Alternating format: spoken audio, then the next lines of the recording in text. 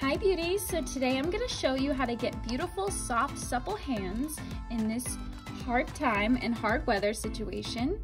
As you can see, my hands have taken quite a beating from the constant washing and the constant use of hand sanitizer. So today using these products, we're gonna show you how to do a DIY little hand treatment and mask. So first what you will need is some type of scrub. It can be a hand scrub, it could be a body scrub, anything will work just to eliminate the dead skin cells on the hands. This is going to be the Lalicious Birthday Cake Scented Sugar Scrub. It is really nice and moisturizing and it also has a beautiful little sparkle in there. The next item you'll need is some sort of thick hand cream. Any hand cream will work. This one is the Ahava one. This is one of my favorites. It's the Dermud Intense Hand Cream. So it's really nice and thick and hydrating and will keep your hands moisturized for a long time. The next thing you will need is a pair of gloves. Any type of latex gloves will work. Uh, they're just gonna be for our hand mask. So whatever you have laying around the house, I'm sure you have something will work.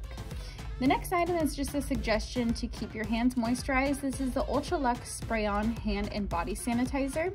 This one's really nice because it is vegan, cruelty-free, and paraben and sulfate-free as well. It's a moisturizing formula with essential oils that helps sanitize your hands and also keep them moisturized.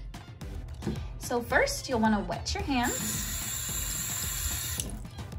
and then grab a little portion of the scrub as much as you like and just apply it to the backs of the hands.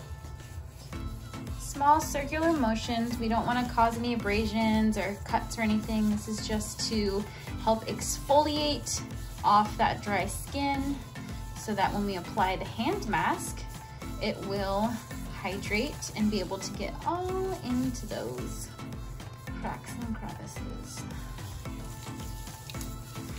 do this until you feel like you've gotten all of the area and rinse off.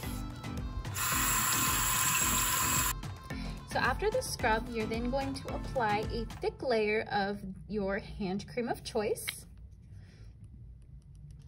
So you want to apply a liberal amount.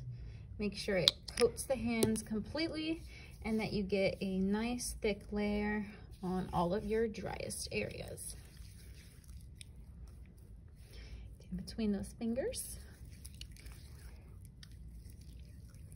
All right, once you have a thick layer, it's you wanna have some excess product on there. That's gonna be good because what you're doing is you're making a DIY hand mask with this cream. So then you're going to grab your glove and you're going to apply the glove onto the hand. So after you've applied your gloves, you're gonna let them sit for as long as possible. I recommend about two hours, which I know sounds like a lot of time, but you know, watch your favorite show. I wore these while I was working and they were no problem because you do have the glove on top, so you're not getting any lotion anywhere and you're able to grab things no problem. So let it sit on there for two hours. Remove the gloves and reveal your soft, supple hands. And when you're done, and you need to apply your hand sanitizer, reach for the Ultraluxe Moisturizing Hand Sanitizer and you'll be good to go. Thank you so much for watching. Have a great day.